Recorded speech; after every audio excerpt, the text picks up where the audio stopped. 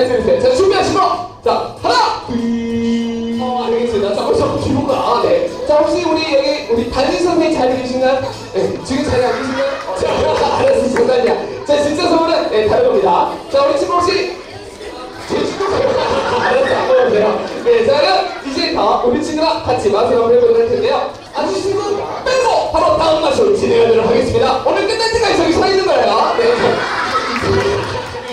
자, 그러면 여러분들 다 같이 하나, 둘, 셋 숫자 셋 준비됐나요? 네, 그럼 진짜 자, 우리 여자친구 머리 위에 물이 있는 것 같아요? 없는 것 같아요?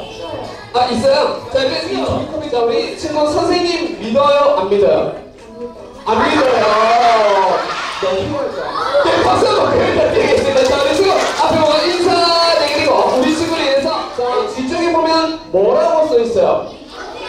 니코틴이죠. 니코틴은 우리 친구들 네, 이 일산화탄소는 바로 사람을 사망에 이르게 만드는 아주 해로운 물질인데요. 검은색 용액이 바로 타르라는 물질이에요. 그래서 몸 안에 쌓이게 되면서 재밌게 말해 준비됐어요? 네, 박수 한번 부탁드리겠습니다.